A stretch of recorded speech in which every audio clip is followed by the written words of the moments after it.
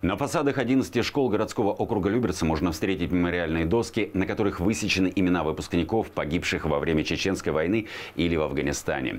Теперь памятные доски появляются и в честь героев нашего времени, участников специальной военной операции.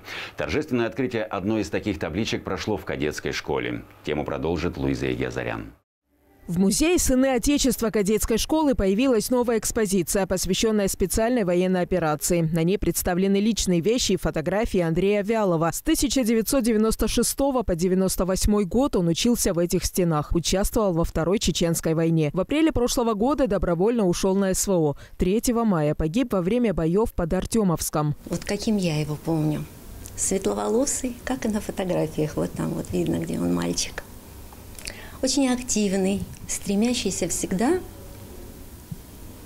отстоять свою точку зрения за правду. Если даже какие-то в этом возрасте, понятно, потасовки всякие разные бывали с ребятами, он всегда поступал честно.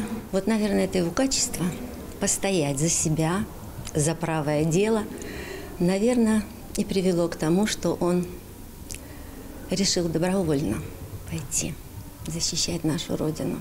Узнать о подвиге Андрея Вялова можно не только в музее. В холле кадетской школы установили памятную табличку. На ее открытии присутствовали родственники и друзья героя. С Андреем мы знакомы с самого детства. Вот. Очень много было с ним разных жизненных ситуаций. Сказать, что можно. Парень слова своего. Вот каких-то вещах целеустремленный. Если взялся за что-то, то уже до конца. Пример Андрея показывает, насколько правильно он был воспитан.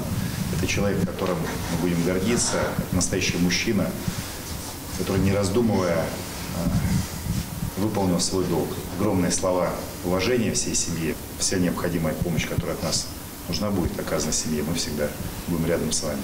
Право открыть памятную табличку предоставили родителям героя. За всем происходящим дистанционно наблюдала его дочь, 14-летняя Неля. За подвиг, проявленный во время своего последнего боя, Андрей Вялов награжден Орденом Мужества. Луиза Игиазарян, Сергей Гвоздев, телеканал ЛРТ.